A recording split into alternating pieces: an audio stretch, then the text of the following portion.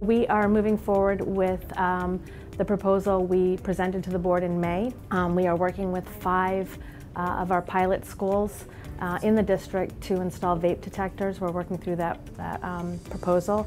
Five of our schools are Estero High School, Cape Coral High School, and Fort Myers High School. And then two middle schools, Lexington Middle School and Calusa Middle School.